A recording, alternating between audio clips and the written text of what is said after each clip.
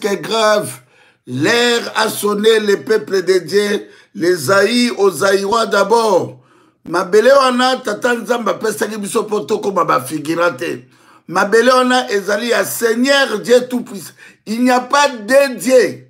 nzambe acreye mokili na ye asali baarabe asali bachinois baasiatique asali baeuropéen apesi bato na bato no ya bango benediction ya biso benediction mabele ya zaire mabele ya bakoko na biso ava yo na ye na ye kuna bobotama bakoko babundelaki mbota bandeko na ngai makambo nazoexplike bino naoexplike bino bino botalaka boketo alobaka me nayebisaka bino ke ma force vient pas de moi force na ngai ezouta na nzambe oyo apesaki mabele wana oyo apesaki mani oyo apesaki benediktio wana moto aza gangi aza te moto aza internel aza te moto akoya kobangisaka bato aza te parceke tobotamaka bolumbu na naissance na biso na jour ya fin ya siècle ya bomoi na biso tokozonga bolumbu pourkui ntango tobotamaki ata mama alatisi yo couche mwana mwana bebe soki mama alati ekushe akoyeba te ke alati kushe ata na sphère na biso ntango okokufa ata balati so baveste na barobe okoyeba te du moto agangi aza te le peuple de dieu bino bozwi mabele ya nzambe boteki botrahi histoire ya nzambe botrahi histoire ya bakoko na biso bakatani maboko likolo ya bamboka wana bapapa kimbangu babeti 30 ans ya prison lumbumba bakata ye morceau par morceau bakasavu bakufi bamobutu baye babimi mes frères boyeba bino tu bacongolais bacon bacongolais oyo boza na complicité ya occupation ya mboka na biso ntango nazo explike bino ke république n'existe pas ntango baokipe bino baza koextremine peuple na bino babotoli bino susola mboka na bino demokrasi ezalaka na occupation te demokrasi ezalaka so noki bato bakoloba guvernema nga binzambe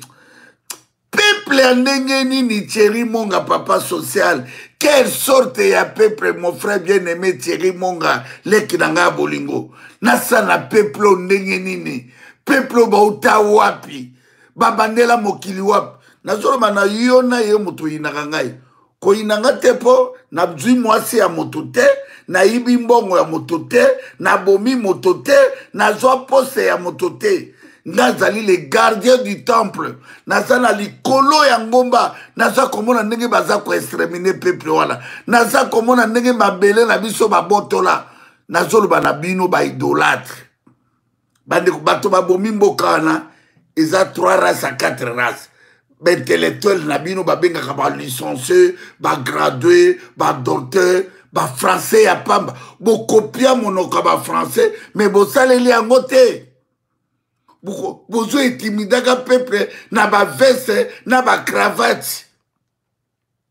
mboka bateka Félix Tsilolo, il dirige rien.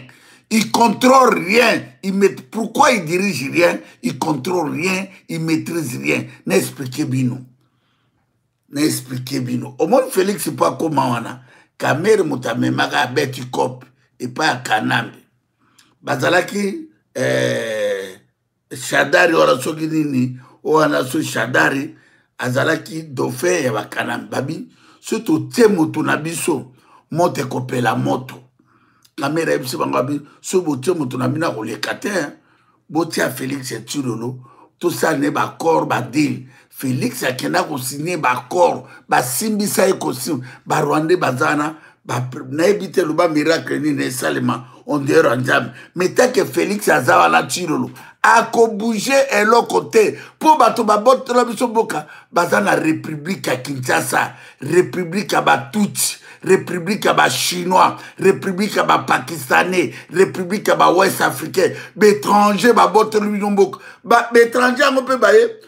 bazosomba balingwala babarumbu bakasa bazosomba bino bakolo mboka bokokima bokozonga bazai bokozonga bandundu bozo comprendre te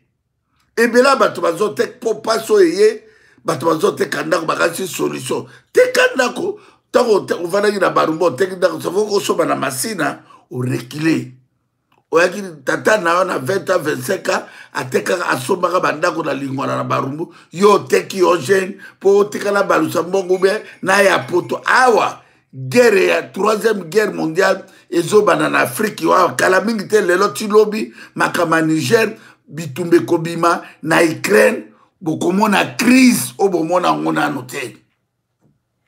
peuple nini ayokaka te peuple nini azo comprendre te peuple nini aza nyama bona mokili peuple oyo nzambe na ngai peuple ya ndenge nini thierry monga papa social quelle sorte ya peuple babotola biso mboka félix tala bakinois natali mpe nalabi i bana 34 ans donc bana 34 ans bakomi bafana kwiti ya baninga na bango oyo oh, biso bawa ebele babenga nga tokoboma yo yo yo ozokompare moto oyo ozotindela bamessage bokeci wayamo nga aza mbwa te nga naza double sexe te nga aza double tinel te nga botama guerrier yo nga nazobundela yo yo ozobundela vie ya farira ya ferera ya jibira omona moto mosusu aumela na poto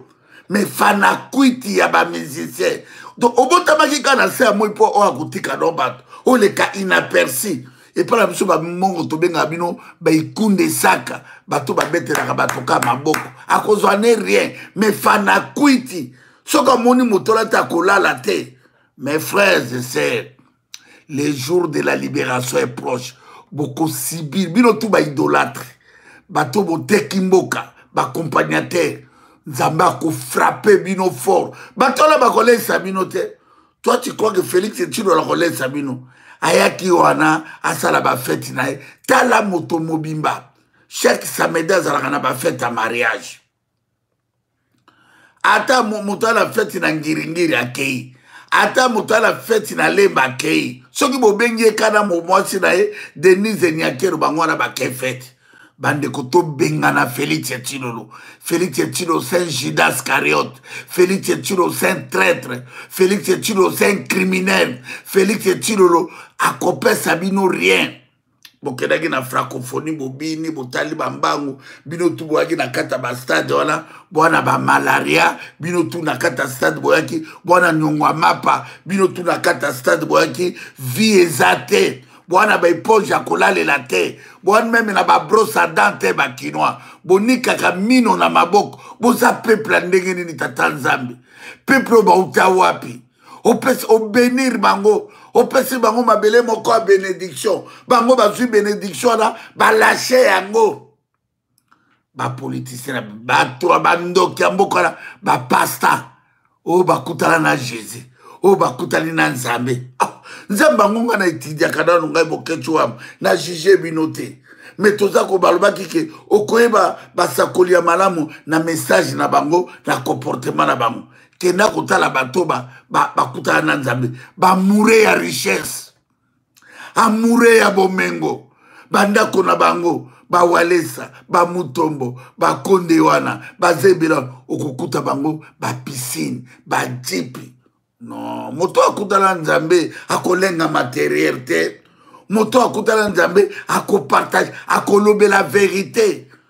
lokola bakimbango bakufaki bale moloto bachangeaki baideologie ale moloto azoteya makambo oyo ezoleka na mboka na biso balumbumba baboketi wayambo bapapa honore ngwana bakenda wana bato bakutanaki na nzambe bazwaki ta moto akutani na nzambe akowela intere na ye te baeglise n'existe pas wana eza bainsete eza bainsete le peuple de dieu bobima na baeglise na bino wana bobima na bainsete na bino wana botola bitumba ya monene bato wana bateyaka makama mboka te bakoka dieu d'abraham d'isaac de jacob bato wana baya balobaka 2000 après jésus christ bato wana baya liboso ke yezu aya basi basala mosala na bango bakenda place bazali sekret na bango na nzambe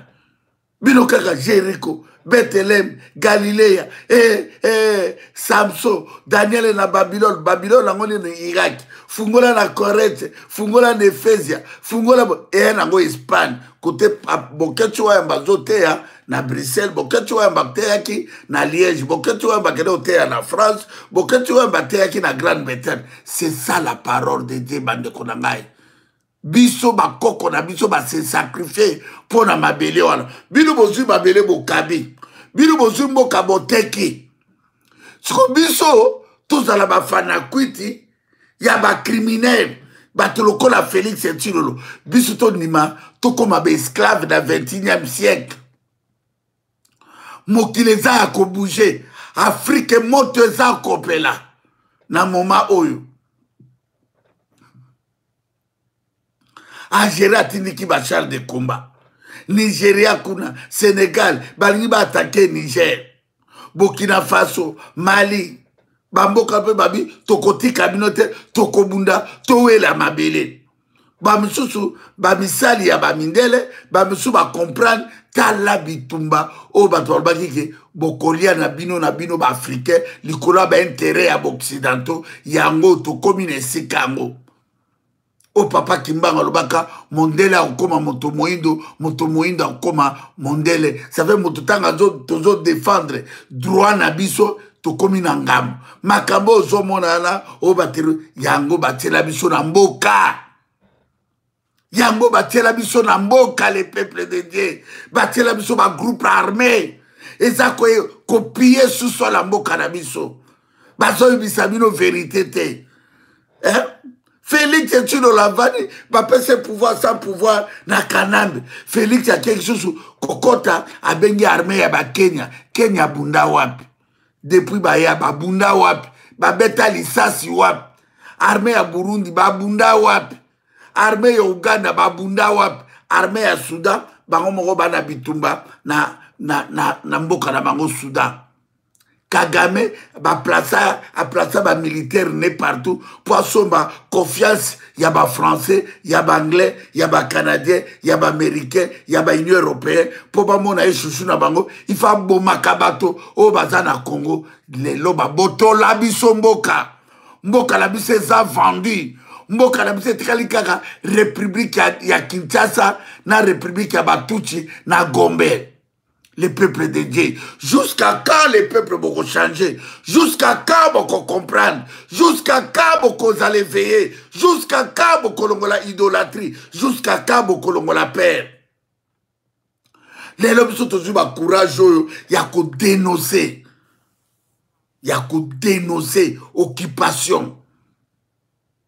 boumbu biso tondima boumbu na mabele oyo bakoko na biso babundelaki yango yo oyebi histoire ya mboka no te mo yo oyebi ka histoire ya, ya israel ya palestine ya, ya baarabe mi histoire na yo histoire ya nzambe eh? mboka na yo eza mboka ya nzambe le peuple de dieu bacreature ya nzambe naza kobondela bino na nkombo ya bakoko na ngai bakoko bakufelaki mabele wana yo nani okonie histoire ya mboka na biso eh? bapastere wana bamagicien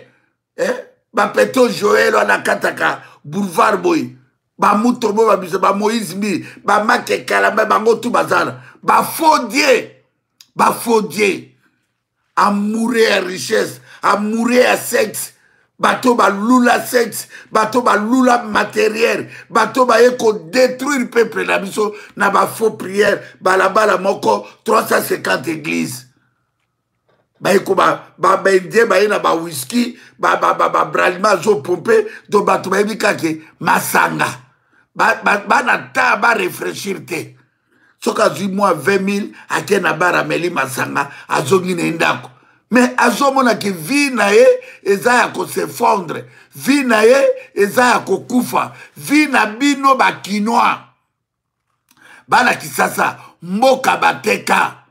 bobima na baloyenge wana bakinois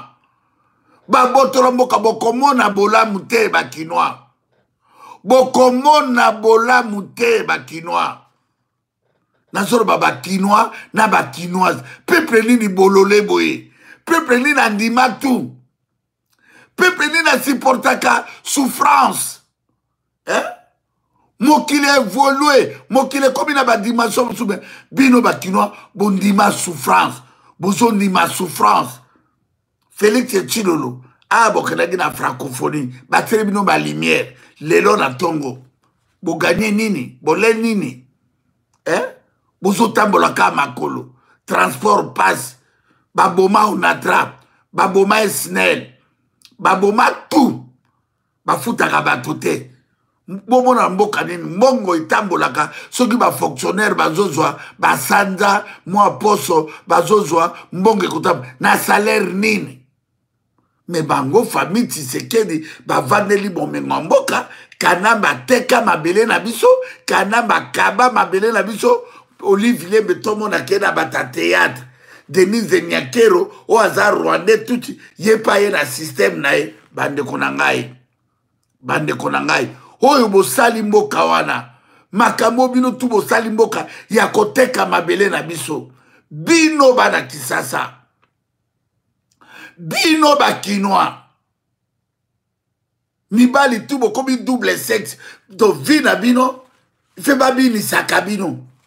eh? soki boyoki miziki bokudayebi te bango moto babanda miziki wana yango biso tobloka libanda omoni bato baobetelaka maboko na bastade kamaniola wana awa na poto babetaka te bravo bachampion bana uk bana londres grande bretagne werera osuki te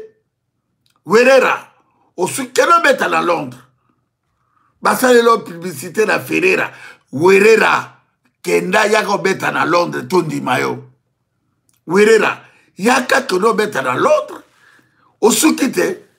parce que bana bilaka ya papa kimbangu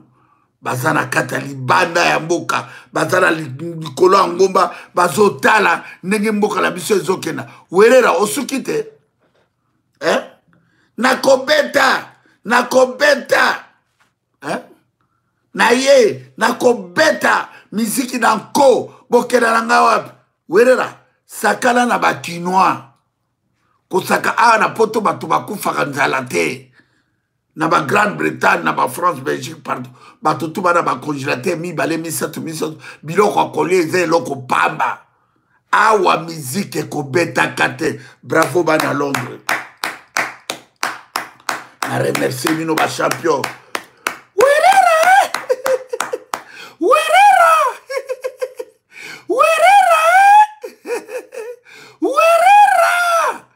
tala motu moko boye vudo boduskudu carre eh? oyo akomanke tozongisi miziki miziki ya bitumba na biso te toza koprotege bana na biso baza libanda werera toza koprotege bana na biso ferera toza koprotege bana na biso double sexe farira le 25 novembre okutana na moto mais je crois ya farira okolela na monoko ya mboka mpo d'ici la okoyoka okozwa annulation champion bana londres zone rouge bana uk merci tous les patriotes baprésident okito bamaître baina bapeti na ngai trésor boza na ebele moyen natanga nkombo na bino to eza te me nasengi bino merci natoni lelo nalali pongi ebele nabi merci papa kimbangu ya 1921 merci mama kipavita merci mama eh, papa lumbumba kasabo mobutu merci bakoko na biso boya kodistraire biso te eh? soki bakombata na bino balia bafandaka na poto mpona nini soki ozalaka mongala oa fanakwita félix soki oza moluba fanakwita félix motaba mai bokenda bapeya bino fonction eh? bokende bozwa tomona bino soki bakopesa bino baposte bokende tomona bino arrete les distraction na kati ya diaspora merci na bacombatant fantome merci na bacombatant ba fantome c'est comme ça bandeko na ngai il faut botinda bamail na rena na ministre interieur na prefecture ya, ya, ya, ya stater botinda botinda bamail bozwa bamakila boloba tokoya kotumba defense tokoya kotumba defense tokoya kopelisa moto na defense oyo eza makambo ya kobanga te awa eyali babeti bino bino mpe bobeti ta ya kolela eza lisu te bravo bana londres bino moto bobandaka makambo ya blocage ya miziki boboyaka distraction lelo bana na poto bazozwa badiplome bazozwa babaki bafungoli basosiete na bango bana na biso bazwi chance bazotravaille partout bazotanga mpo lobi fitire ya mboka na biso ntango mboka ekozala libere tokozonga na bana na biso bacreye basociété mboka etongamaka na diaspora soki bachine wana bozomona chine ekomi grande puissance c'est le diaspora chinois si bozomona baindien c'est le diaspora indien so omona beyrouth na liban c'est le diaspora libanais hein? bayeba bato baza libanda nde baliberaka mboka bato baza libanda nde batelemelaka mboka ife tokwesa felix tilolo il fait tokweyisa ye ifa kweya cilolo nayebisaka yo okweya nayebisaka yo pepe leju pepe akobima libanda ça doit commencer libanda nde ekobanda cilolo bientôt okomona moto oyo omona nano te yo zwa mboka na biso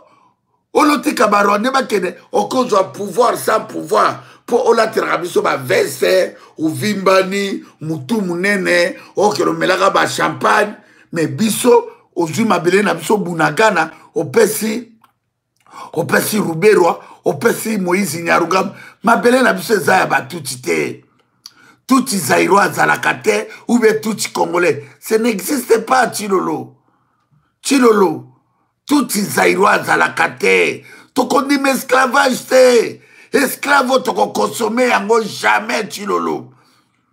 eh? ozwi minembo ekomi commune toyaka na 144 territoire depuis naissance ya mboka na biso bokomisi 145e territoire ça fait kina rwanda na kati ya zaire ekosimba te ekosimba te bazwi bunagana kiwanja ruchuru bazwi peuple na biso bandeko na biso plus de millions de millions baza otage ya baougandais ya bakenya ya baburundais ya barwandais une année yango bandeko na biso baliaka nini bino tu bovandi bisekaseka peuple ya bisekaseka bandeko oyo place m23 bazwa baarme mpe ya baétranger baarme ya baétranger wana eye lokolo ba félix ya cilolo tokosangana na fardc na yo te kote biso tozali fardc bakoya te baya kosala nini makambo nini basalaka na pepe bandeko na biso makambo nini bazosala epa bandeko na biso bandeko na biso bazovivre koma le peuple de dieu peuple wana akufeli nini peuple wana akoma bo peuple asali nini le peuple de dieu peuple asali nini asubir grande humiliation peuple asali nini mpo baextramine yoko si mindele bakoloba yango moni makambo bakobomana tozomona bitumba ebandi bitumba ya mabele lokola bino bokabi mabele na bino bokomona baniger burkina faso bakosangana bitumba na banigeria likolo ya mabele baoyo bazowela baintere ya baoccidentaux baoyo bazowela intere ya mabele ya bakoko na bango bandeko na ngai nous sommes humiliés toza humilié bandeko na ngai toza humilié makasi bandeko na ngai réveillez-vous réveillez-vous réveillez-vous bandeko na ngai il est temps maintenant il est temps maintenant ya kodébarrasse na bato moko banti valeur bato moko sa valeur bato moko baye kosakana na mabele ya bakoko na biso bandeko na ngai ndenge nazoyebisa bino awa mokili eza ya koningana me bato bazoningana te bakongole bakon bakongole peuple moko sans valeur eh? bandeko na ngai yango toyebisai bino tala werera ye wana anile na londres osambwe hein? bomekaki mange werera omoni yango hein? omoni ndenge anilation werera hmm? omoni yango omoni bosambwe hein? hmm? bandeko na ngai hmm?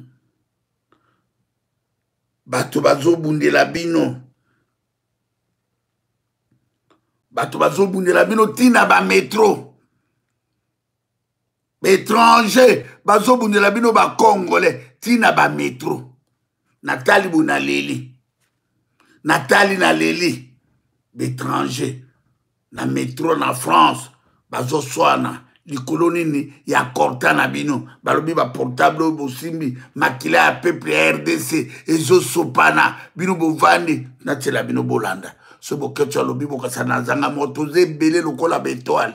bato baye ebele lokola betoile bolanda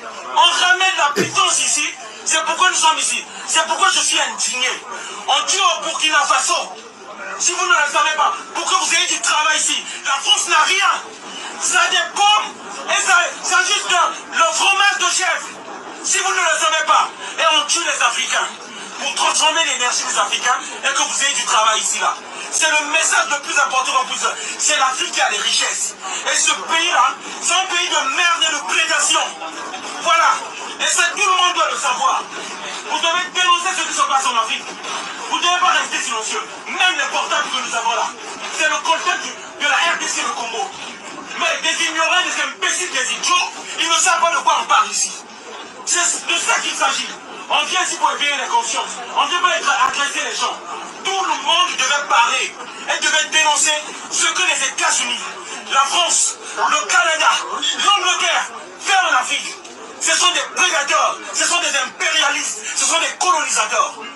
Voilà, et mon peuple meurt et ça me fait mal. C'est pourquoi je viens parler ici. Bonne soirée à tous, merci. Brandy, Oyo, Mamadou. c'est notre frère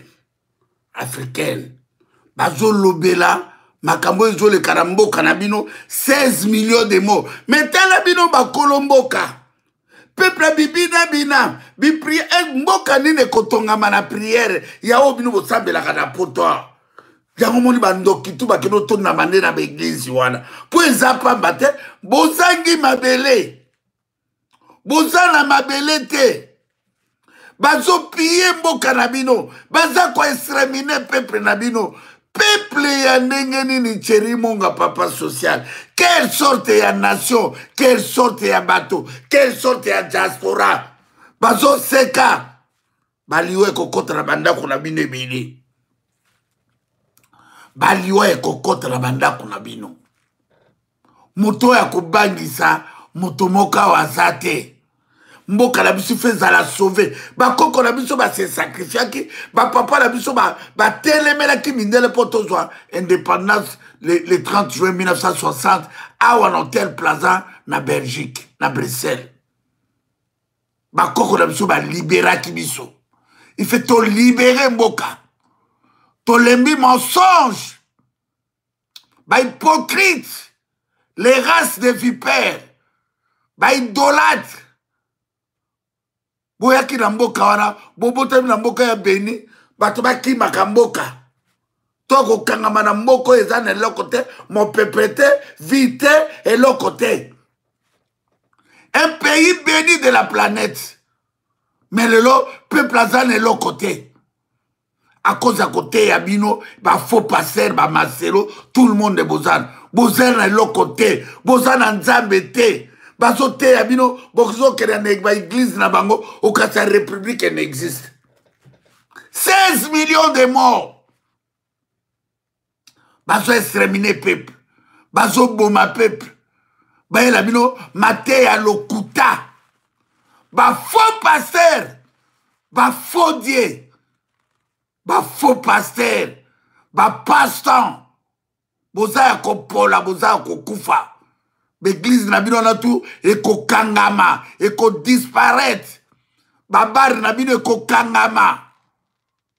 koma bokosakana na mboka na biso oyo nzambe abenir biso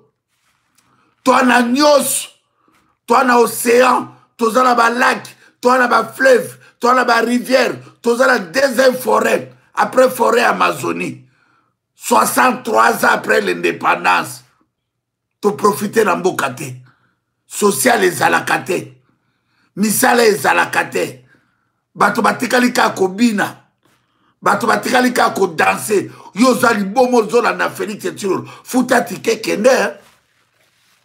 boza maboma bino bato ya idps boa liboma bato bozolanda bapoliticien wana politiki basala yango na occupation te eh?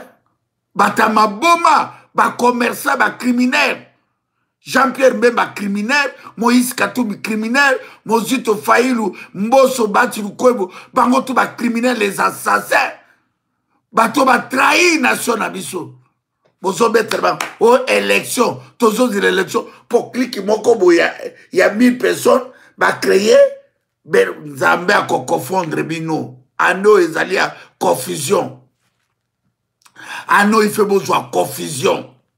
ano ah ife bomona makambo bomona te bokomona suka ya moto peuple nazolala libanda plus de 3 millions de personnes baolala libanda na mabele na bango biso tondima bino na kinshasa bobinaka bino na kinshasa bodondwaka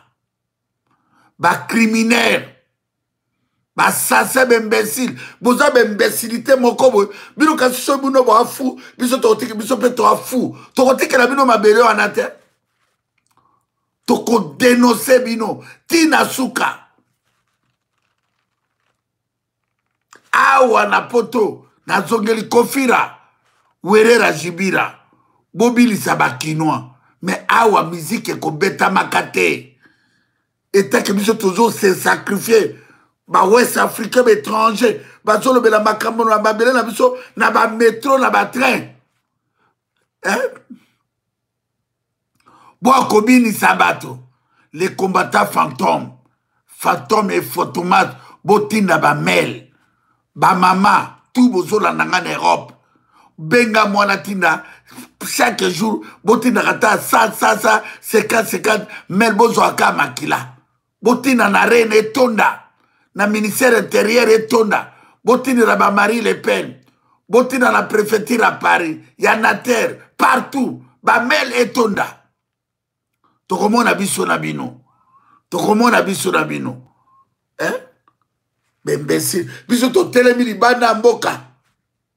eh? totindela peuple na biso maloba balunga na kati esclavage ndoyi na nga général de gaulle aliberaka france à partir ya grande bretagne na radio lelo ka makila ya bandeko na biso basali baportable oyo tozoprofite na sang le sang des innocents toyebisa peuple danger mboka wana babotola mbokara guvernema ezalaka te leta ezalaka te toa na kati ya bowumbu independance bakoko na biso bakufaki mpamba te makila ya kimbangu ekolekani na persi te makila ya mvuluzi kimbangu ya 1921 makila bakoko na biso ya trois cardinal na biso makila papa honore ngwanda ya kasavu ya bamobutu na mboko ezalaki na bavalere ezalaki na bacapacité tu ya mokili lelo peuple akoma nil part peuple atikali kaka kobina bobina bato mboka nini etongamaka na kobina eh? francophonie bosali mbongo ekoki bino te eh? werera omoni ndenge osuki na bato no babimaki beton liban félix etino azwa pouvoir me bino bamboa mikolo ya balondre bokomi bampaka bilongi kukuta bilongi emoto kasi ya mosaka pourkoi bozonga te bokolosala na pouvoir na bino sans pouvoir eh? mabele wana eza ya idps vous, vous croyez que mabele wana ya félix chilolo nazoloba na yo nazokebisa yo yo okobangisa ngai ngai kolo mabele wana ngai nayebanaki liboso ya félix chilolo oyebi yango te nkombo na ngai boketsu premier eh? ntango ya boketsu premier nani ayebaki félix chilolo mwana premier mwana pêcheur eh? nayebanaki liboso ya félix tshilolo nayebanaka liboso ya jean pierre mbemba nayebanaki liboso ya katumbi nayebanaki likolo liboso ya, ya bamboso na babatu likobo vous croyez ke bokotimide moto oyo nzambe asopela mafuta nga aza guerrier nga abangaka moto te nabanga nzambe tout puissant nabanga na bino bata makila oyo bawana makila ya bandeko na ngai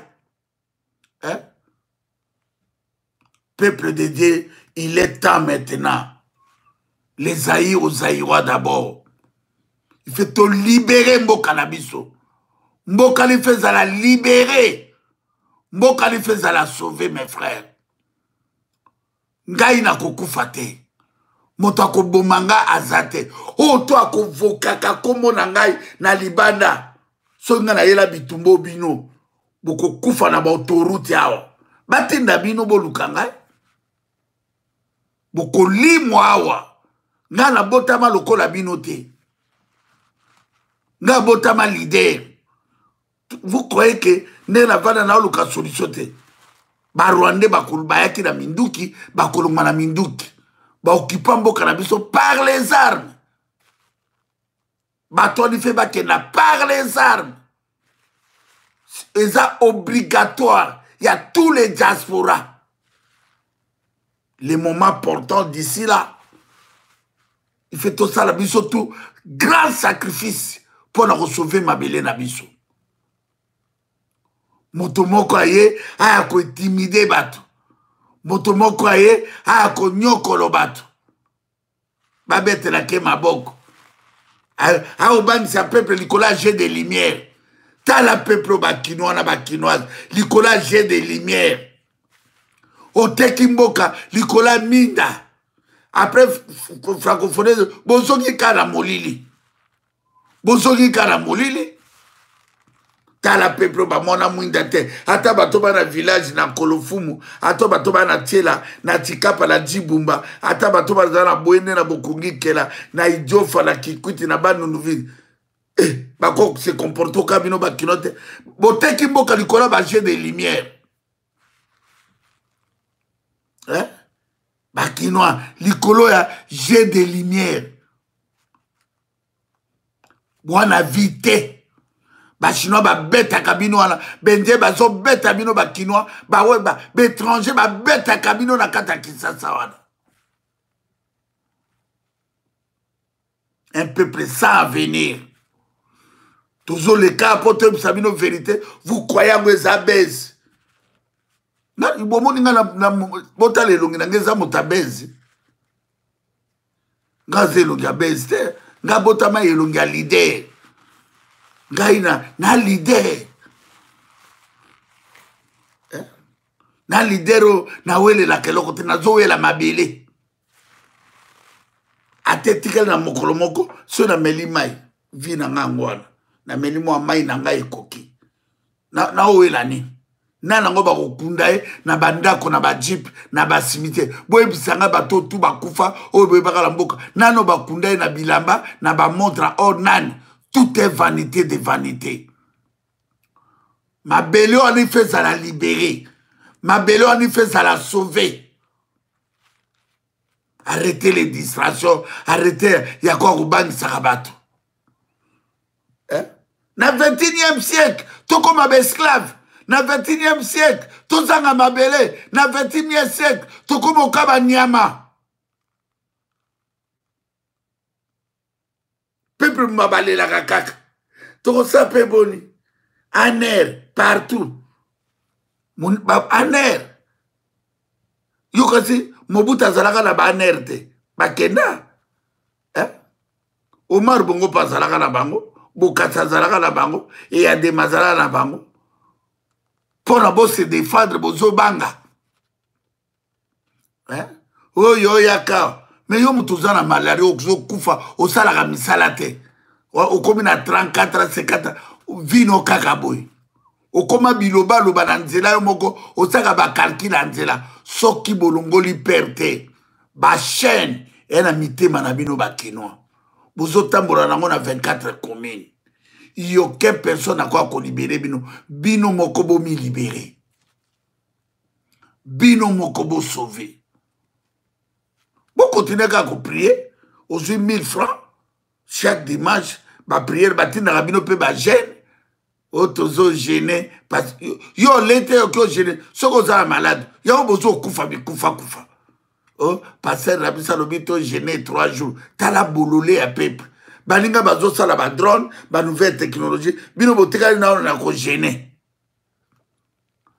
peuple ya ndenge nini cheri momba eh? Eh? peuple ya ndenge nini cheri monga eh? papa social e bandeko na ngai bolimbisa ngai wi yaya naza en direct na sisa eh, na sisa ouais, merci bandeko bolimbisa ngai eh, leki na ngai be ngai bolimbisa ngai noma nakoyamba te me lokola ezalaka mpela très nécessaire yango wana nasengi bino to excuse bandeko na ngai toza na bitumba oyo eza face à face toza na bitumba koleka te odistraire bato to na temps ya distraction te biso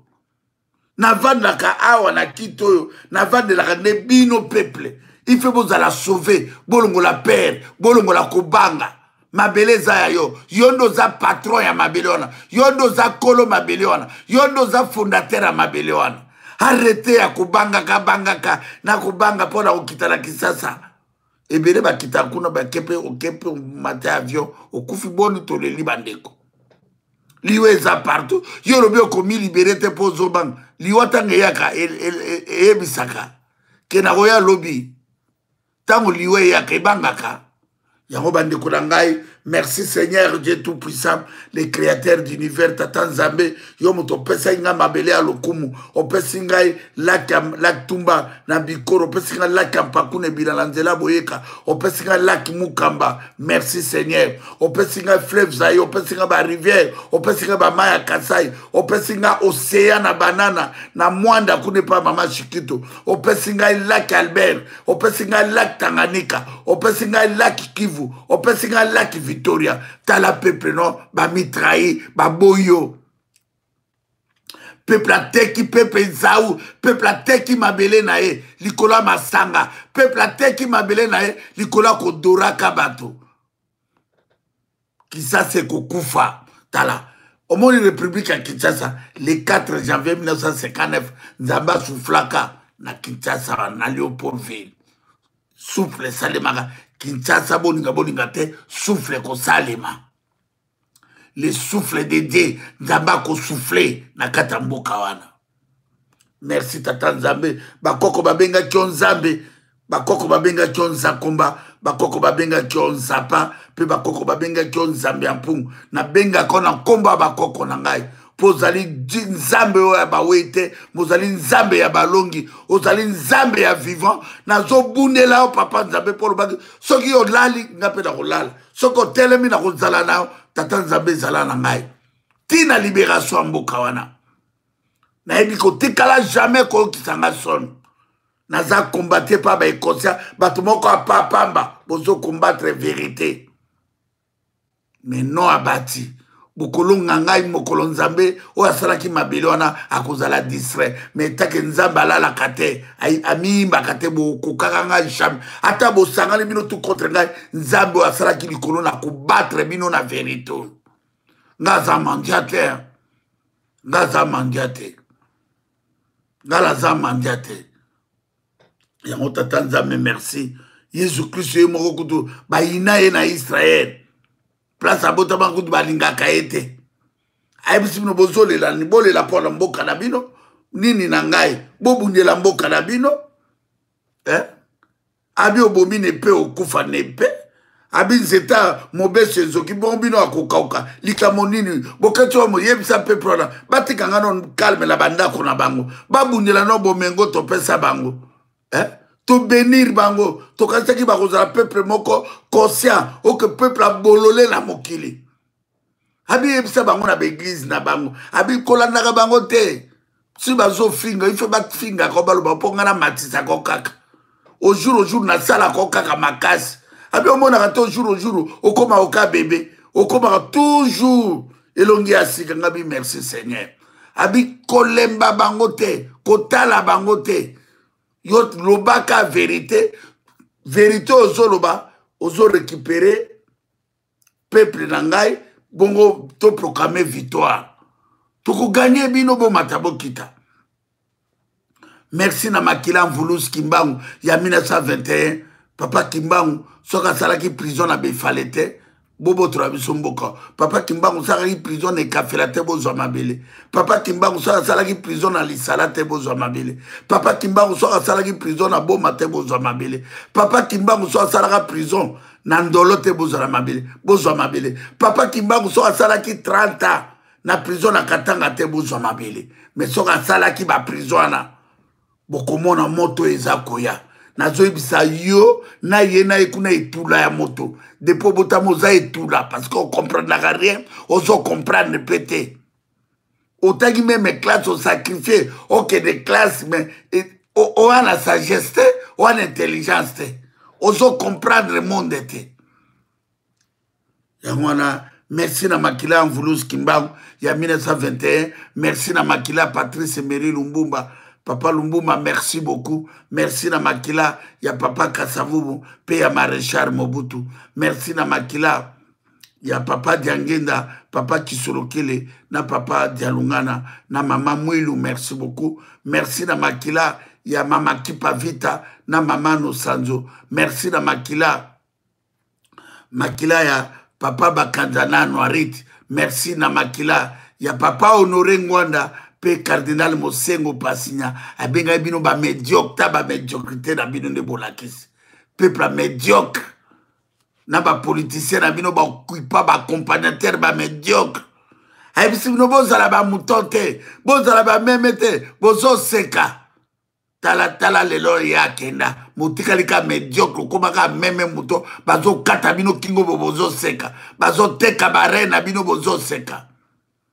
merci na makila ya cardinal etiao mpe cardinal malula merci na makila ya dani boteti ya general ngwala panzu na general bekazwa mpe general eluki mongaundu mpe general mayala makila ya general baumba colonel mamadou ndala mpe na mbusa mabe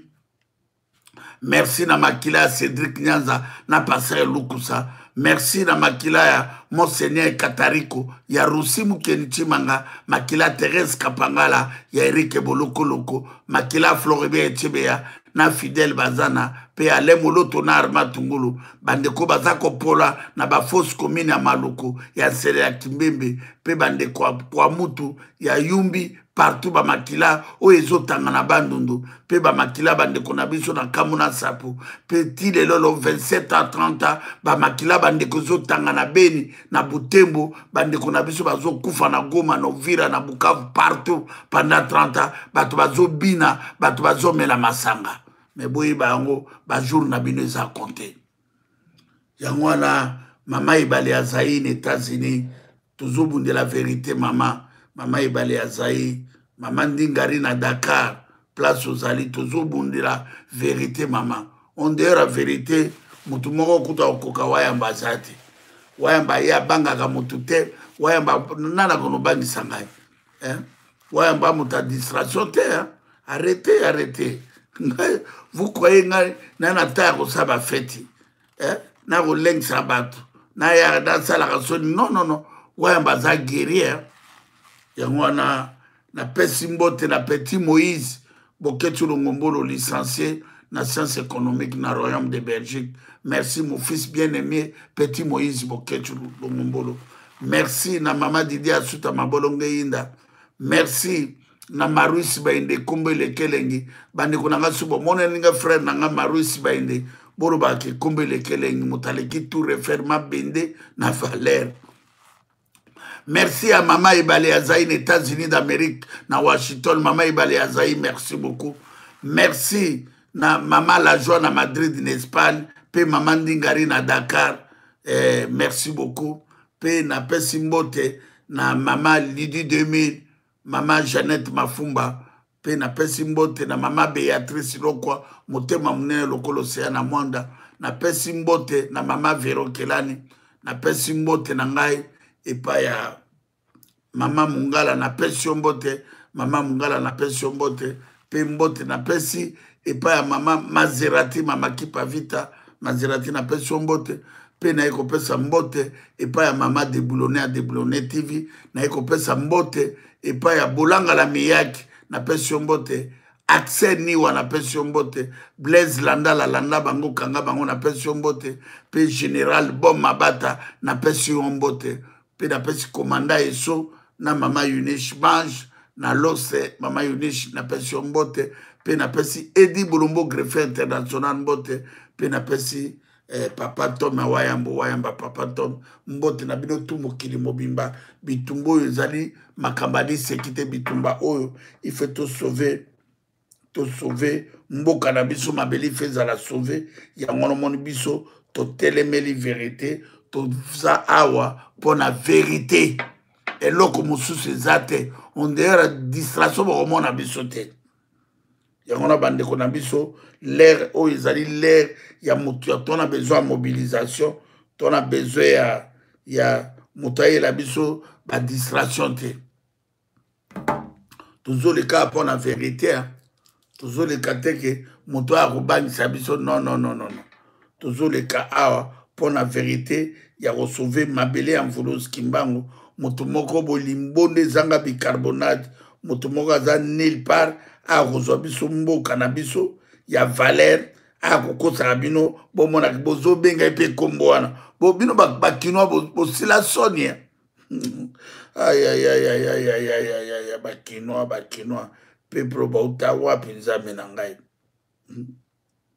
bosila soni mpena bana kisasa bozobenge mpe nkombo wana moto azodirige bino ka na kisasa hmm. moto alula bafete ye mei azotambolaka fete ya mariage partout azokendaka hmm.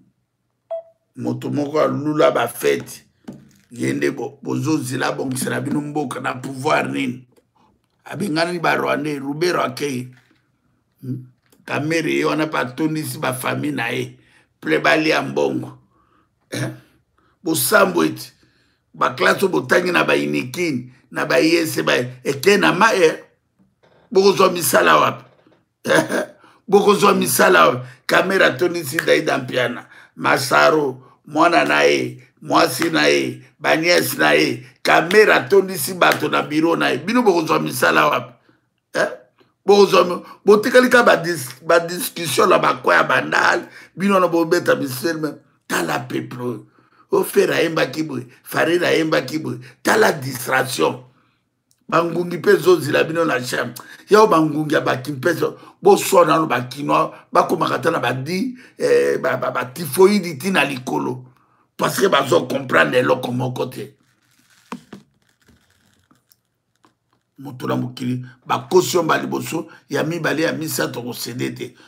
toyoka na loyembo oyo limbonde ezanga bicarbonate makambo wayambo alobaka na bino makambo yango bozomona ata ozotya tembe me oya fanakwiti oyo ozala fanakwiti ya mabele na bomengo nzambe apesi yo yo moko milingame yo moko omilinga te toyoka loyembo oyo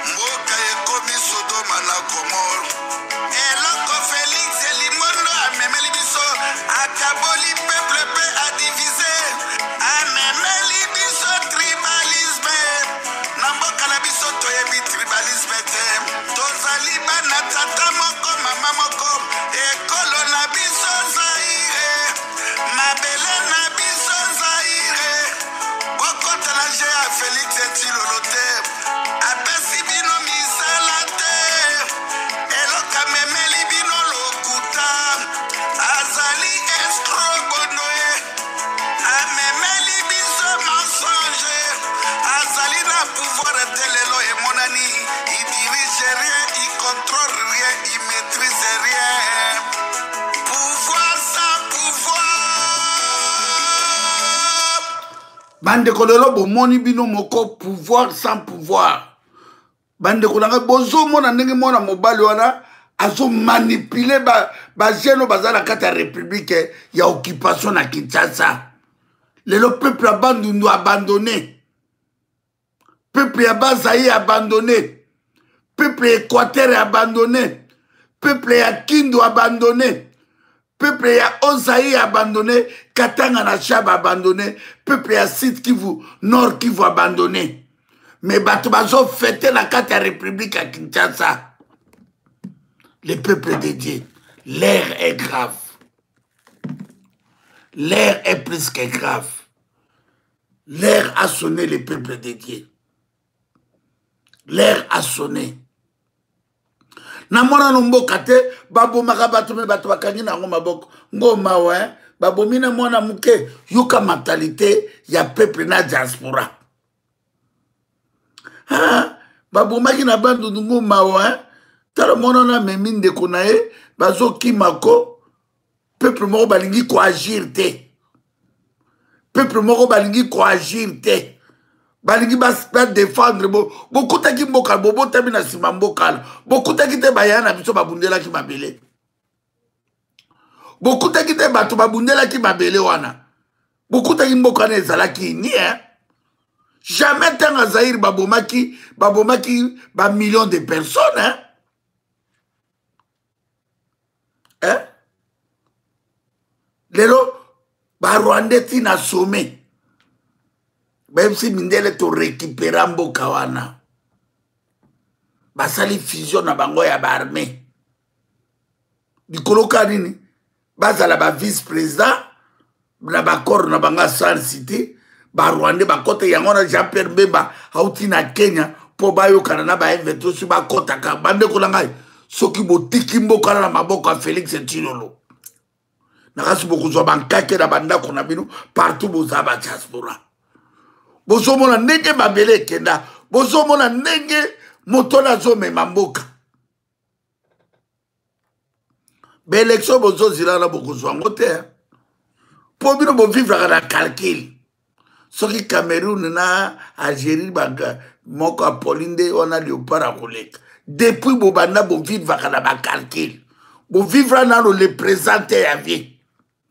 bovivaka eh, soki eh, maroc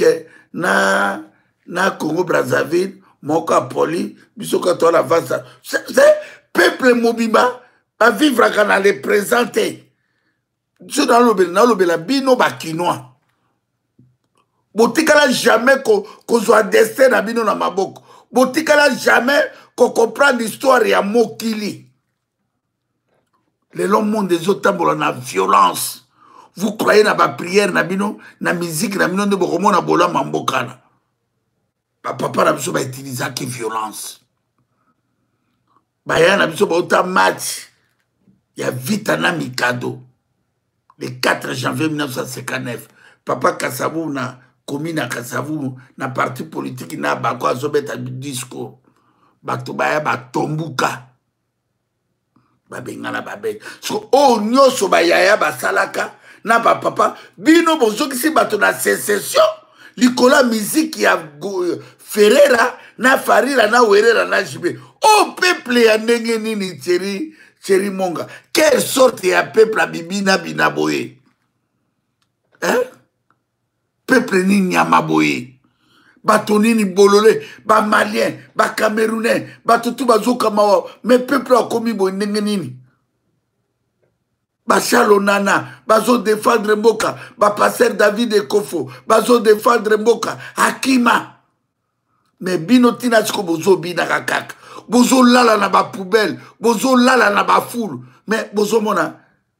nayebi te peuple oyo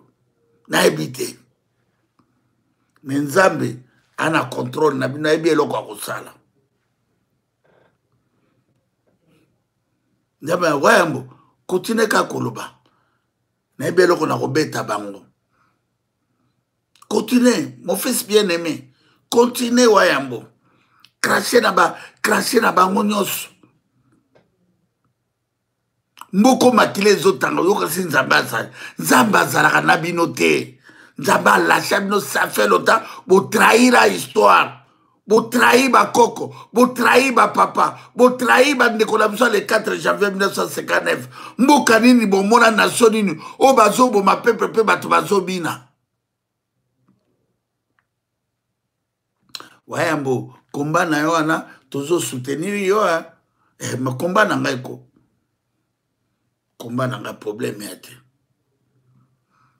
seka ngai me yebaki na telemi okata toza 5 million ya 10 million de personnes tokolonga bitumba oyo yo lobi okoma histoire te yo lobi okodefendre mboka te mpo tokomi na bapoto vi na biso ekoki esuki awa baninga batongaki bamboka na bango na bamuro yango biso toanviye to yango tosepeli me tala mboka na bino eza vierge ba etongama te mboka na bino etongamaka te bato bazotonga ba baetage esa bayeba baconséquence ke bacarnive eza te ascenseur eya te yo otongi ndako ya etage 3 4 sikoyo ntango okoma 80 ans okomata koma na etage okoma mokolo nini peuple ya ndenge nini quelle sorte ya peuple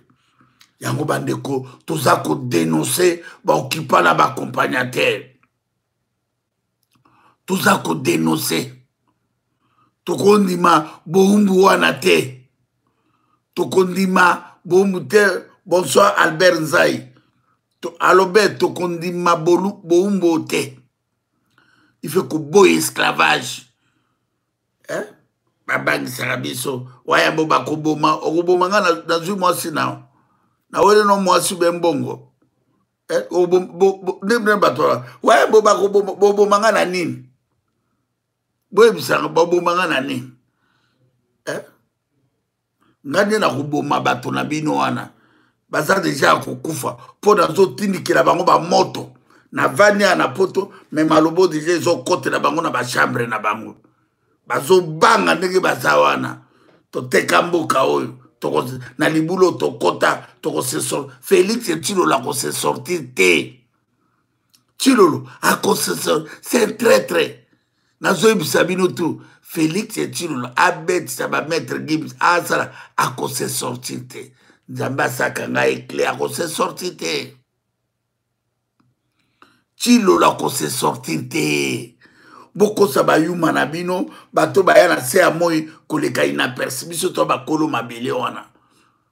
toi na avance na bino ya 250 ava bino bobotama ngai nabotamaka botamaka deja na moto namonaka place bino bozomona bosuki ngai nazomona mosika bonsoir kulutu na ngai dona mobeti ya dona mobeti na france na pension bote komba oyo toza nango ezali komba ya verite komba ya liberation ya, ya vie spiritualité na biso bapeye ebele bato batelemi bato batelemeli bamboka na bango bino bozoyela biso mensonge boyeli biso bobangisa biso boyeli biso pouvoir sans pouvoir ya lokuta ya makambo ezanga ntina biso tobanga bino tobanga bino te hmm? mboka bato bato ba, ba, ba, na, na kini bakoinaugure toilette bandeko na ngai na inikini bato bainaugure toilette ene to na toilette na obengi na kati ya ndako osala batieli yango riba obengi bukumetre tala niveau ya bato bato bozobenga baprofesseur ya université bainaugure toilette bolanda bino moko toilette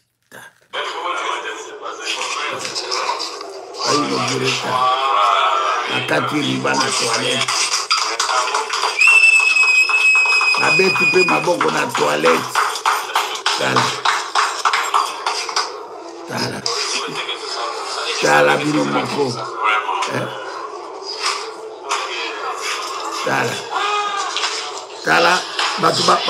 bato mobaki odingire toilette ese bato wana bobenga bango mpe bato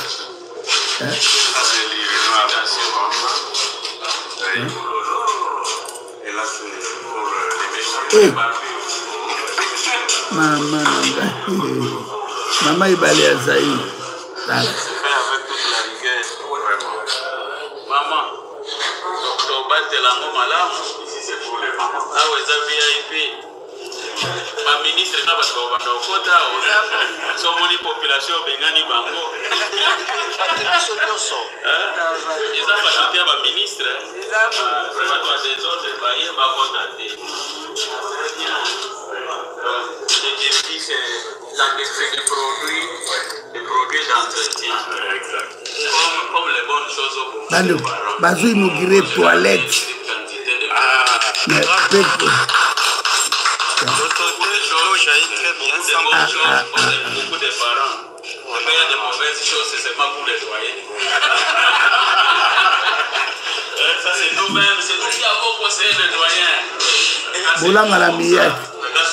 tala bato bazonigire toilette tala toilette ah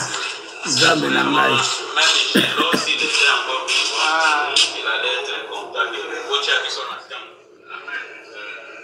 bandeko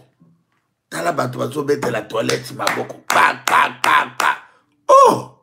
ndeko na ngai ata bino moko ata bino moko bandeko na ngai tala basoda yango mpe natya yango na stati tala basoda yango bautaki formation ya 3 mois ya félix de chilolo kao alali na nzela tala basoda basoda soki bana mbura soki banani ameli masanga bongo basoda boye bakolobunda na burundi na bokoganye guerre ndenge nini botala bino moko niveau ya mboka na bino ta garde républicaine kao chikata soda mboka oyo oyo makambo ya soni basoda mboka oyo omeli bagene omeli bakwiti okwei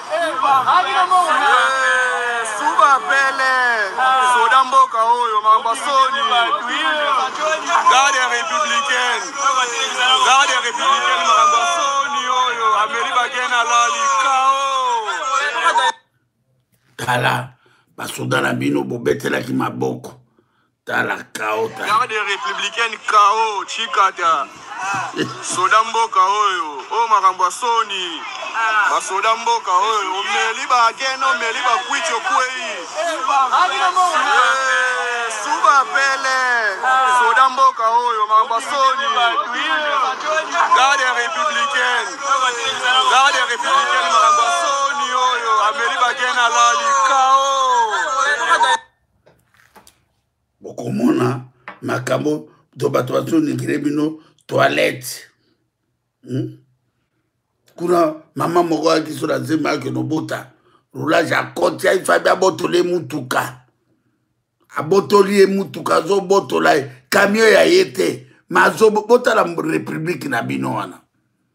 bon après bozoloba o oh, république gouvernement asala tala tala soda camion na yo te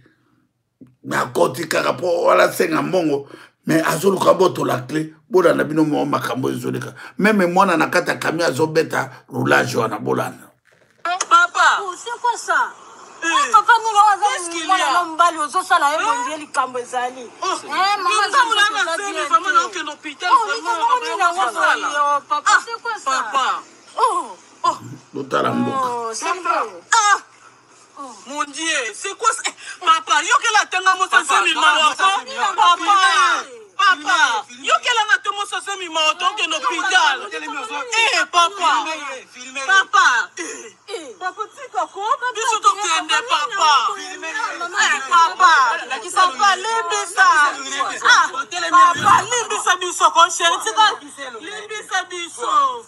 papa limbisa biso papa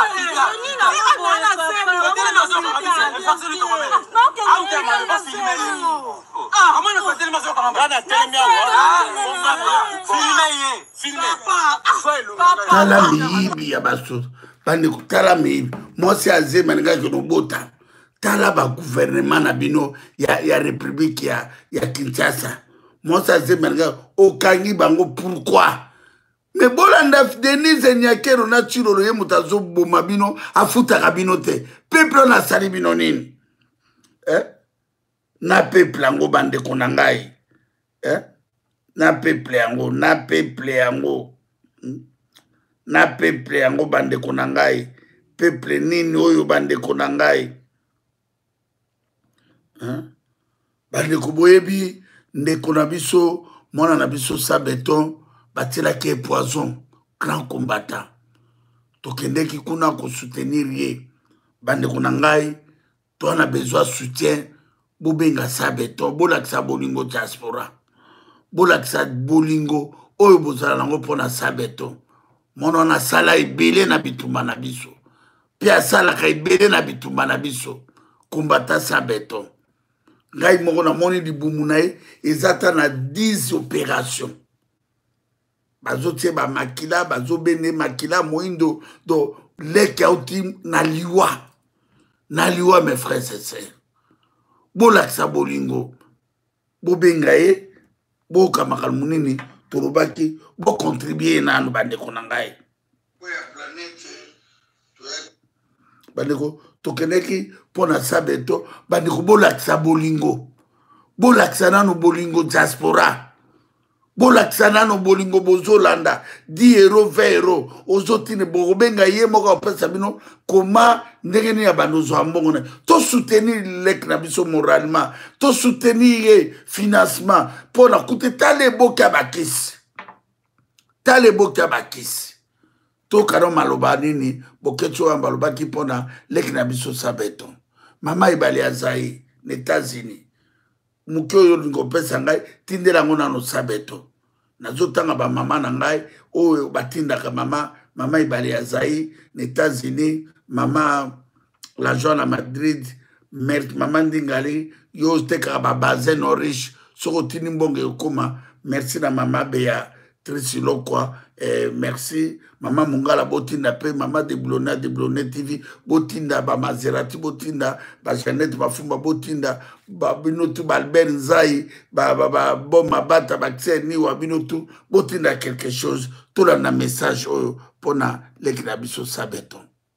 kotala moumbu serviteur ya mvuluzi kimbangu porte parole ya mvuluzi kimbangu le gardien du temple guerrier na biso oyo leki na ngai ya bolingo bomoni ntango bamenasaki ngai na bato ya baindepese leki ayaki kodefendre kulutu na ye tokiti balingi bameka ye batiele ba poison banini baboma ye ye azodefendre mboka azwi grade moko te asengi bango takoma bokumese na kati ya occupation sante tazala na bato tout bien yango tosengi na ba ba combattant tout ya mokili mobimba na france na bruxelles na londres partout tona besoin kosoutenir eh, sabeto na prière na moralement et puis financier ifi ezala donc tozosenga na bato tout eh, sabeto numero na ye naza na ngwawa bandeko tout bobenga ye botinda ndeko na biso ntina liwa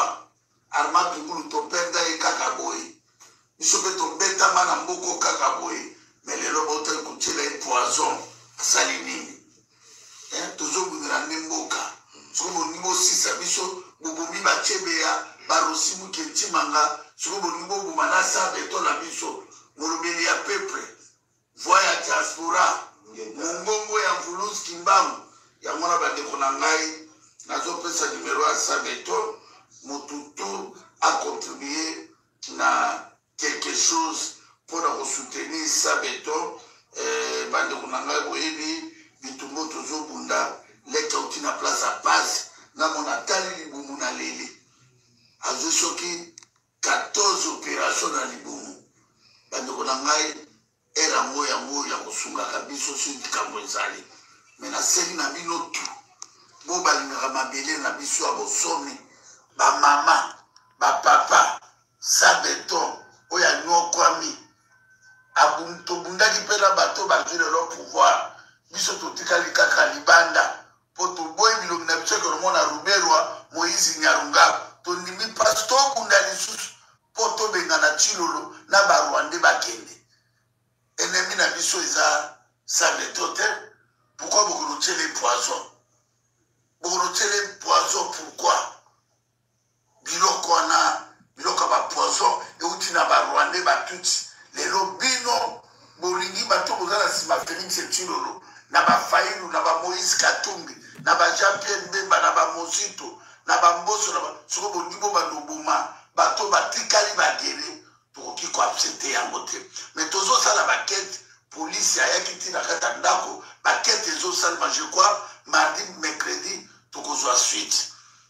mais tosi toyebi yo nazoloba na yo ozalaka na matonge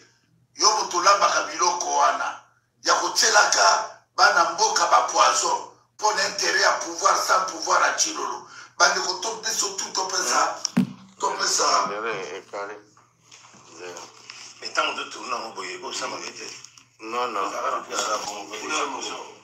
ouais, ouais, c'est bon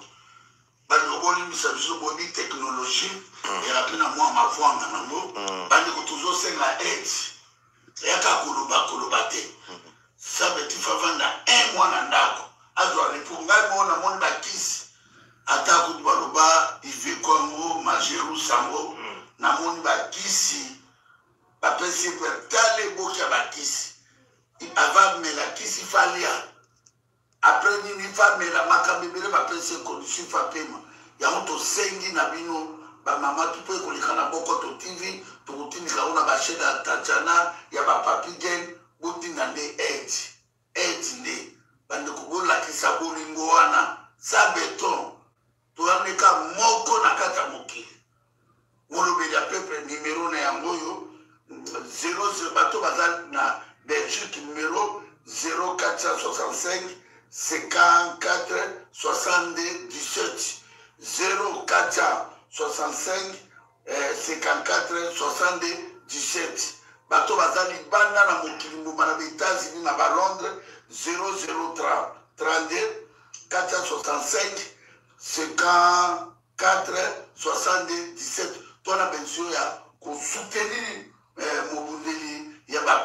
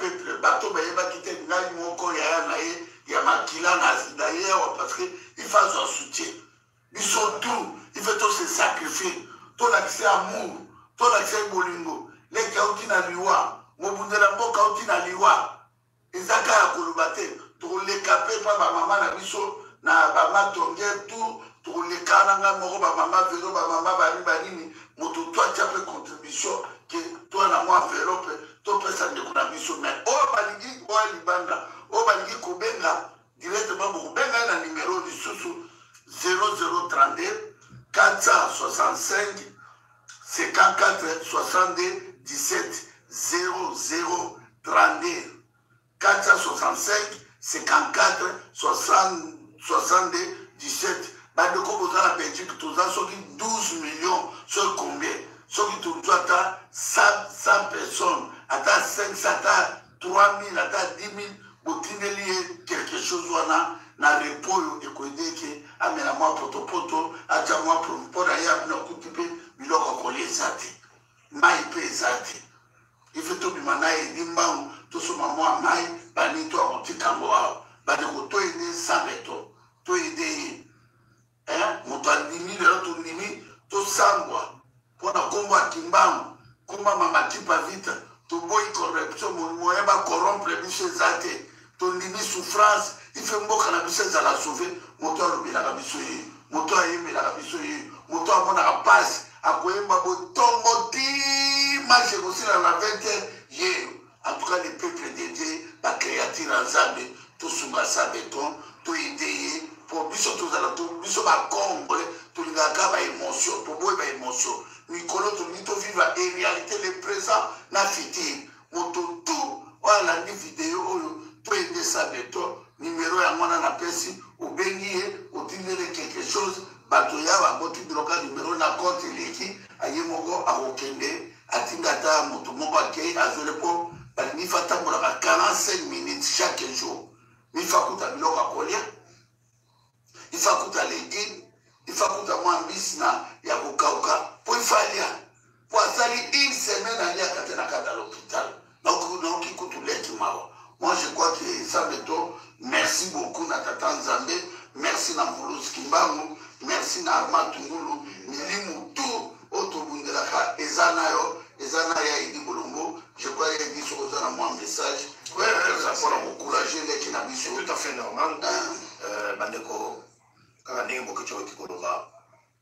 boyo aza mobundeli na bino sans beton véritable sans beton oyo boyokaka véritable beton eza ye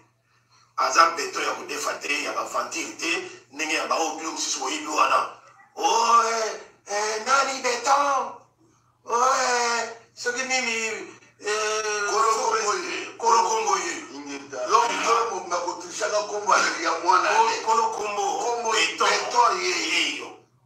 Parce que boyebi ki beton na ye bomonaka yango oyo moto aza capable eh, ya komobiliser population totelema nde totelemaka wana mpo kende ti na suka donc eh, tolingi makambo kosakana te donc soki bajalousie yango ya bino bokomi kowela ti boya koluka mpona kokoze badesastre awa eh, ya komemela bato bagere bapoison banini mwana mobali oyo asali bino nini asali bino eloko te donc okoti na hôpital ya mbala kaka aliyaka te baolesa na basonde biso kolokola babimi ndenge azali ndenge tokuti ye esengi vraiment ke esalisi na biso biso bato biso bato oyo ye aza kobundela tosalisa ye na mwa quelque chose soki ozala mwa quelque chose obengi na numero wana malobi mpo na kosalisa ye donc voilà omoi na koloba mpo na yo sans beton on est ensemble kaka ndenge bana kokomela yo na bafacebook na banini ona partout hein, donc on est ensemble yango na boko euh, chaque jour on est ensemble okopesa numero na yo banda un mois tokomobilize batobogere yango vie antuka merci kaka na bavisite nde boya kotala ngai deja na hôpital botikaki te bamédecin balobi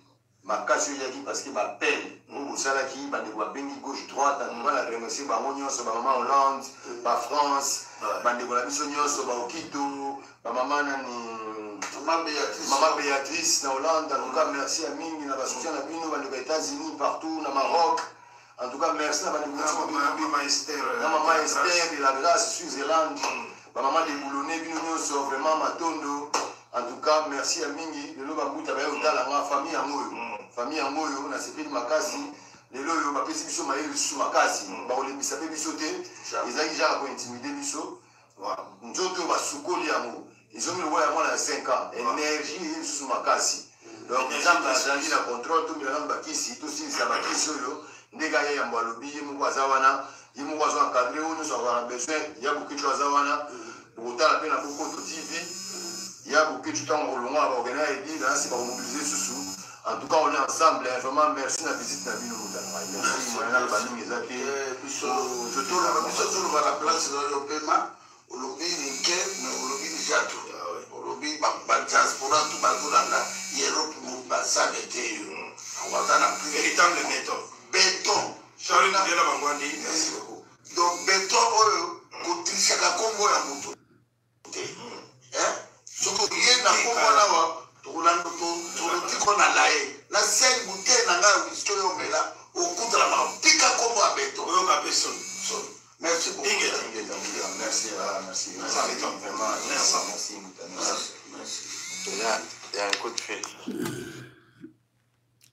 bandeko na ngai bamama bamembre bamakombata fantome mama mungala eh, mama mama jeannette mafumba mama lidi 2000 albert nzai eyo eh, erataka te eh, mama deboulone ya deboulone tv namoni yo mpo erataka te eh, bamama vero kelani erataka te eh, nayebi ke bamama bwa bamama eh, wana aza mwana na bino mwana auti na liwa omoni vie ya moto eza courte vie ya moto eza courte en tout cas bamama bamama na biso nazoloba mama lidi 2000 mama pauline bange mama jeannette mafumba mama mama vero kelani mama jeje jeannette mafumba eh, mama mongala na lio mama deblone ya deblone tv mama ebale ya zai eh, na washington mama lajoi na madrid mama ndingari eh, nayebi ke motemo nzambe apesa yo baza de te nayebi ke bomeka kobengana biso mpe tozosangisa oyo ya biso totinda bandeko botinda bolandi numero ya telefone ya ye moko direct numero ya sabeton yango wana ya telefone euh, bandeko na ngai numero ya sa beton yango wana bandeko na ngai eh, tokoka kosala geste wana tokolakisaka video chaque jour tolakisa mwana bolingo tolakisa mwana bolingo bobenga ye moko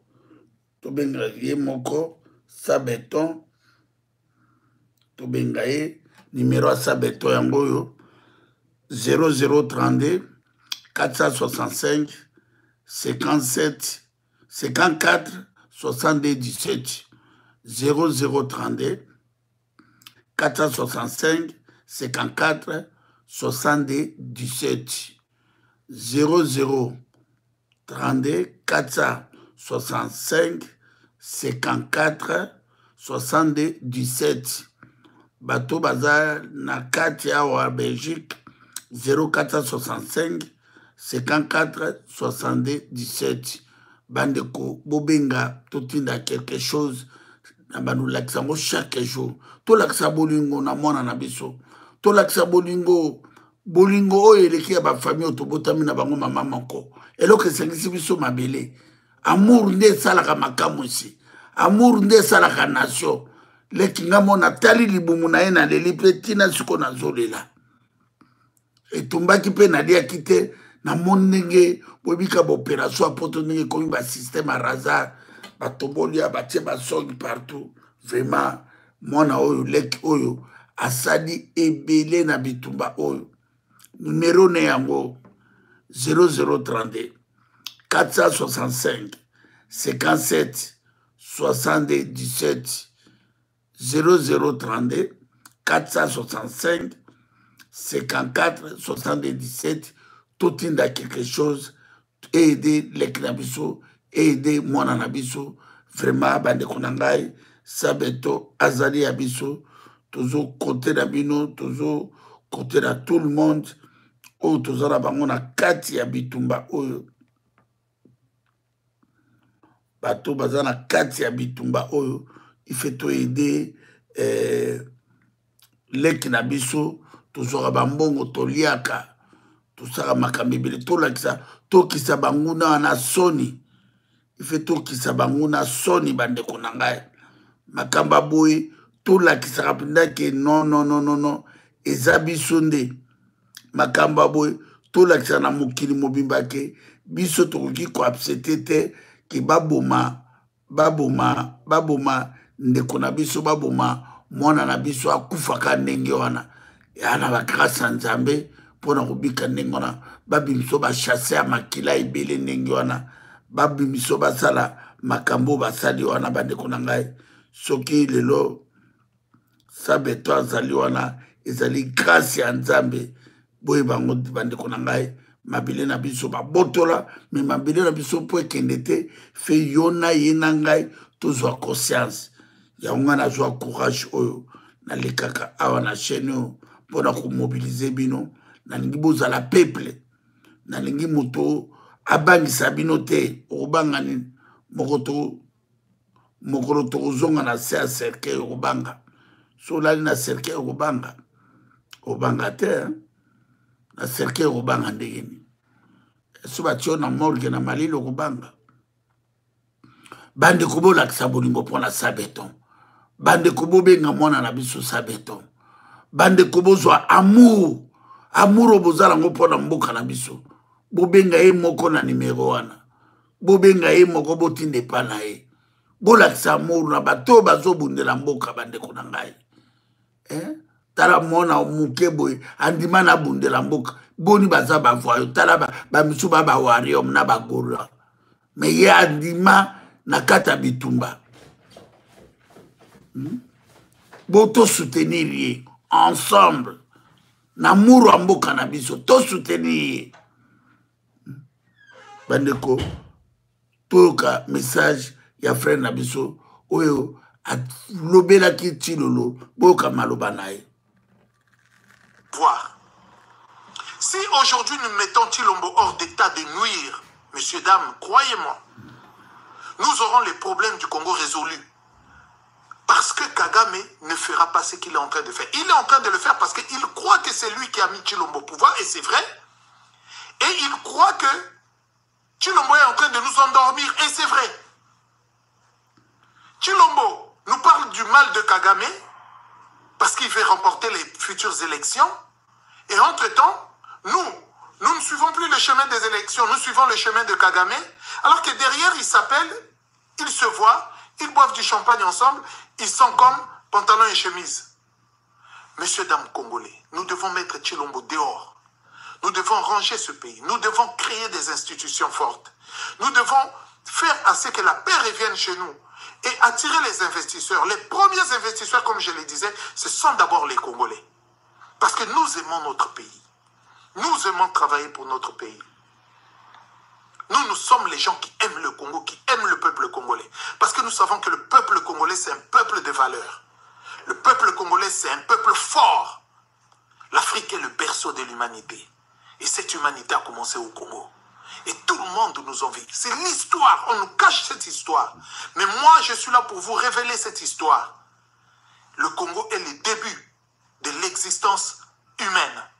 Que vous le croyez ou pas, que je choque ou pas. Moi, je vous dis la vérité. Nous devons mettre M. Chilombo dehors. Ne pas lui laisser l'occasion de faire ce qu'il est en train de faire, de piller l'argent public. Lui et sa famille, de piller l'argent de l'État. Lui et ses amis. Et de laisser le peuple congolais pauvre en dessous, vivant en dessous d'un dollar la journée. Et tantôt mangeant une fois par jour. mangeant que le pain et le, l'eau sucrée. Non, non, non, non, non, non, non. Nous ne devons pas continuer sur ce chemin. Monsieur Chilombo doit subir le réveil du peuple congolais. Peuple congolais, réveillons-nous, c'est le réveil. Réveillons-nous, peuple congolais. À nous la victoire. Le peuple gagne toujours. Hommage à une personne. Levons nous remportons la victoire prenons tout ce qui est à notre disposition et là je repars l'article 64 pour mettre dehors cet individu lui et son père Kabila bandeko bolandi message oyo natiaka parce que eza message moko eza makasi bandeko ennemi na biso eza félix tilolo ye moto andima kotekama nalobi na bino eh. si bozokatisa guvernema na mboka wana ezalaka boabata maboma mpo enemi na bino moto azonyokola bino akosala rien mpe akosalaka rien tozokende na kao bokozwa kao oyo depuis naissance ya mboka wana ebotama bozwa yango nano te makambo boyokaka le 4 janvier oyo ekozala fois 1000 bapese pouvoir sans pouvoir epa barwandais mpo akomanipule bino akokosa bino oyo akabwana na kagame akabwani na bakagame na, na kanambe na ruberwa na batutsi baza wana na arme na bino ya fardc bamilitaire ya baugandais ya bakende bazalaka wana basala fusion balingi basala mpe na m23 tokaba mboka kaka boye tozotala tozotala ndenge mabele ezokenda tozotala ndenge mabele ekenda toza bacomplice boza bacomplice depuis babotola mboka na bamakila to ezotanga na mboka na boza bacomplice peuple na bino badiaspora boza na quatre coin ya planète koma bokondima mabele wana ekende koma bokondimaka babomaka peuple wana koma bokondimaka baestreminaka peuple wana l'air est grave mes frères l'air est plus que grave mais il est temps maintenant l'air a sonne ya kolibere mboka na biso tobotama mibali toa baguerrier tozoleka chaque jour mpo tobotama mibali na banda obeta miziki na vandi banda 20 heure ti pokwa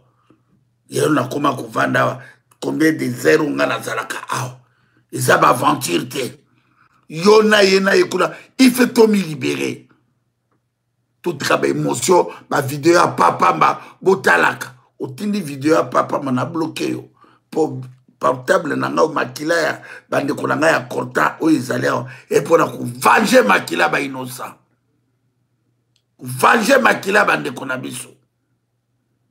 toka makambo oyo paster david ekofo makambo alobaki ruchuru bunagana ishasha plus de 105 village tout ena maboko ya ba m23 mabele nalakisaki bino ke burundi na rwanda bazwi mabele oyo eleki meme ebetandi na bango babotoli mabele mais grand prophète pasteur david ekofa alobaki soki bozwi morceau ya mabele wana boketi oyo yango ifa ya korekipere yango tolanda pasteur david ekofa alobeli barwandais na bacompagnatere wana bakimaki cardinal mosengo balobi bakei na protestant bakokutana na pasteur david ekofa asanzela bango verité tolanda verité parce que bobosanaka makambo tozoloba nalobi boye soki ekomi kaka minui bobosani yango peuple nde ata bozoloba na boye oyo tika malobo tozoloba ndeko azoloba oyo bandeko bazoloba tika tosaisir yango totelema tosauve mboka no bato babosanaka bapeuple baoka bapompe bayaka kaka na retard tolanda paster david ekufu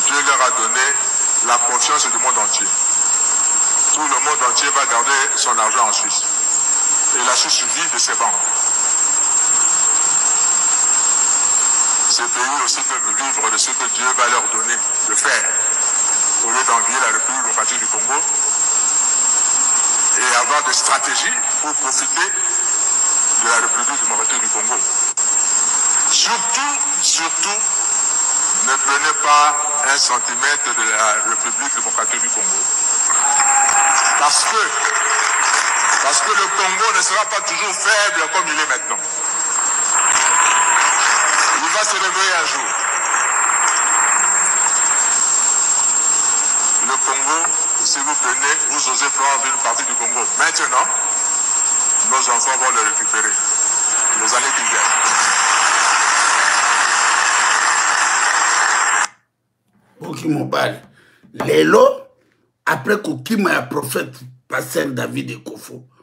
minembo bazwa bakomisa yango commune na félix tshilolo babotoli bunagana babotoli ishasha babotoli ruchu plus grave barwandais baza na équateur barwandais bana bandundu barwandais bana bazai na 4 ko ya république baarmée ya baétranger tout ebotoli eya na kata mboka wana baarmée ya baétranger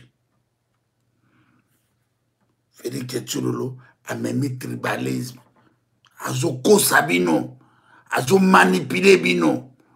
azosakana na bino yakomi milliardaire vital kamere milliardaire bayibi bazoyiba ayibi bino ti mbongo arame 42 millions de dollars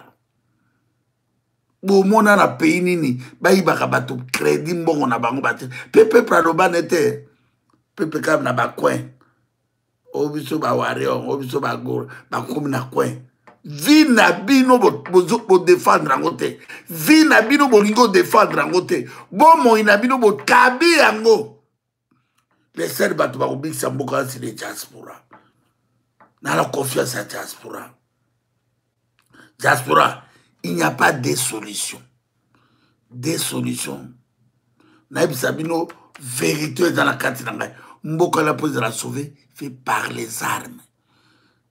barwandais bavandeli minduki omona burkina faso so capitaine ibrahim tore asimbai minduki te bata français balinga bazala omoni na niger soki général basimbai minduki te bata français balinga bazala na guinée conakry si balongolaki alpha conde na minduki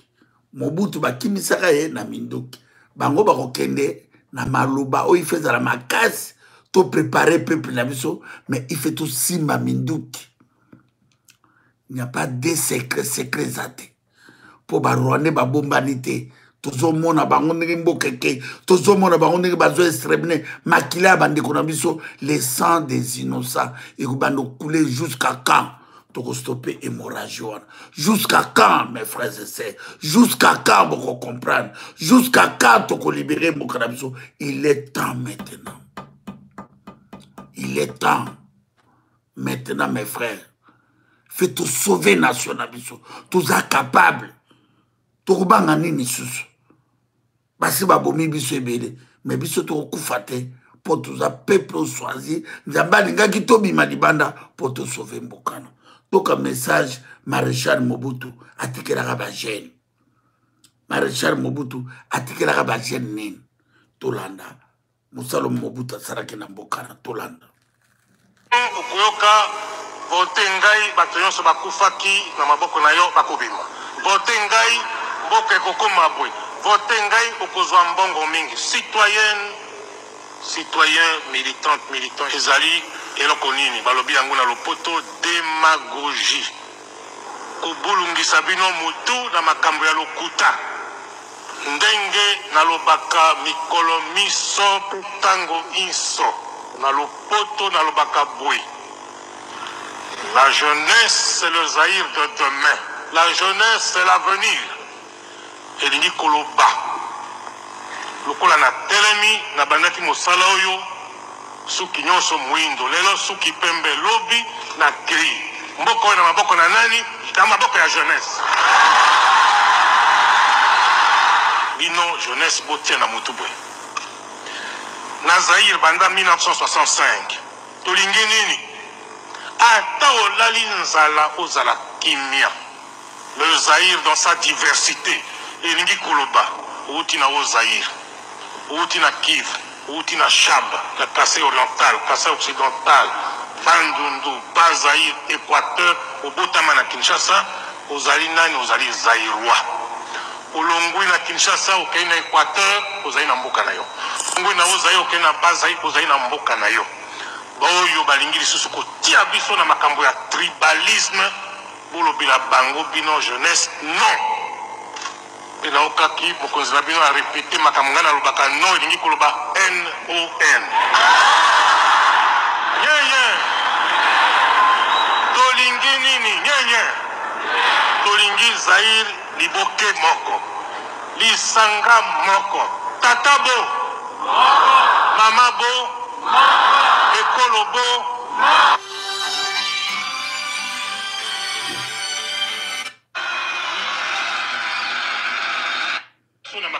tribalisme bolobela bango bino jeunesse non mpe naokaki mokonzi na bino arepete makambo ngai nalobaka no elingi koloba non yeye tolingi nini yeye tolingi zaire Liboke moko, lisanga moko, tata bo moko, mama bo moko, ekolo bo moko, parti bo moko, bokonzi bo moko.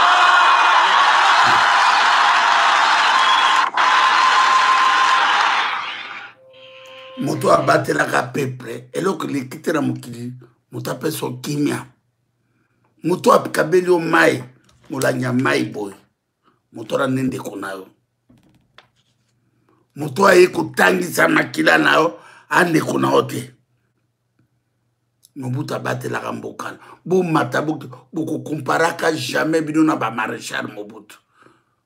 miyibi moko boye batasali te bayebaka moto na bomwana bomwana oyaki motu monene matama minene jini te eloko moko te tala kanambe oyo bolole moko boye akitika na parapluie boye pabla para bapesi ya ebiladi moko te yebi histoire ayika koboma koboma koboma mboka na biso babotola na baugandais babotola na baburundais babotola na monisco babotola na bakenya il faut tolibere mabele na biso mes frères il faut tosauve mabele wana bandeko choix eza te choix eza te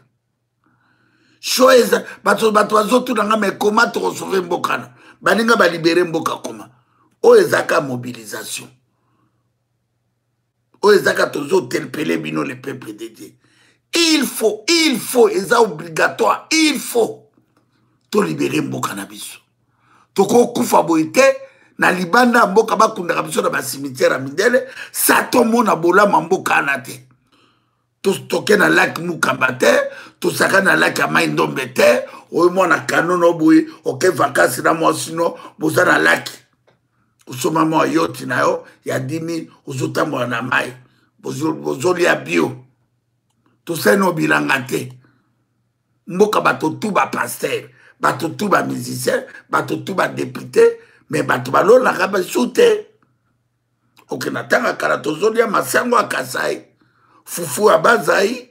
loso ya bumba mbisi ezuta kisangani baboma babato tu mobutu atikaka 37 bato elala bademokrate ba na bino oyo banakata republike ya barwandais réveillez-vous mes frères et sœurs réveillez-vous tokolemba koloba te mpo makasi oyo to na ngai ya energie oyo toza nango makila oyo toza nango bango mpe bana makila ya libabe biso to na makila ya kimbangu tokoganye ba ife tolibere mboka shoi eza te shoi eza te mes frères na kopema moko na komona bozwi conscience oyo ngai na nango amour oyo ngai nazalaka nango mpo na mboka bino tu mokili babolati yango jour wana tokoproclame victoire jour bokolongola kobanga bokolongola makambo ya badistraction ya kotalaka babolumbu na internet kotalaka bateatre makambo moko ya pamba bolataki babotoli biso mboka jour wana tokoproclame victoire ya libération ya mboka na biso mais il est temps maintenant bandeko na ngai 30 ans plus de 16 millions à 20 millions de morts bandeko na biso bazolala ntango bomonaka bandeko na biso bazolala libanda na est ya mboka bwana mawa te bwaka na susi te susi wana elata bino te ntango bozomona bazoboma bato na babandundu ntango ozomona bato bazokrimina mpe bato balongola bato bato bazoseka bato bazoseka bandeko toke na hymne national oyo epesaki biso lokumu oyo mokili erespectaki biso mpo toyaki na grand leader incontournable tona bezwa balider oyo alobi non non tona bezwa lider ya boye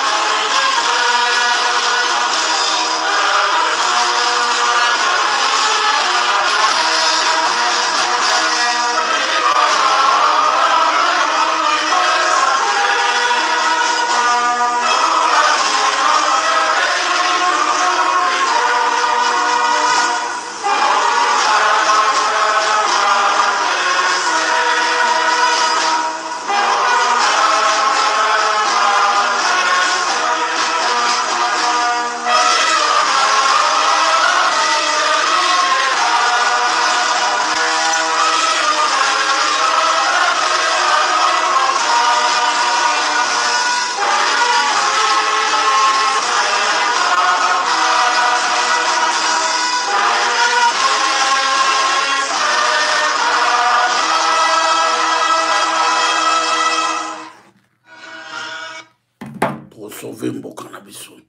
mboka life ezala libere tokotikala jamais baesclave jamais jamais jamais mes frères et sœurs jamais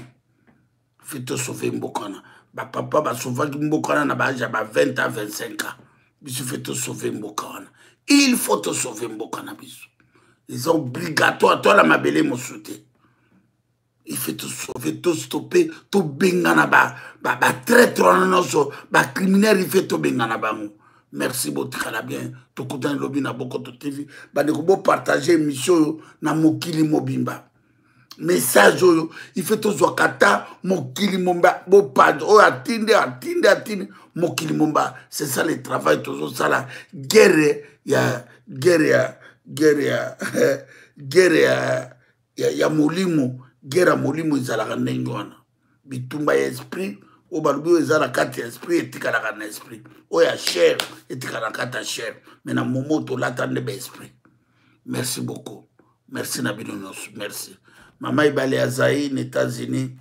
mama la joie bino tu bamama bamama na ngai nalinga bino mingi merci beaucoup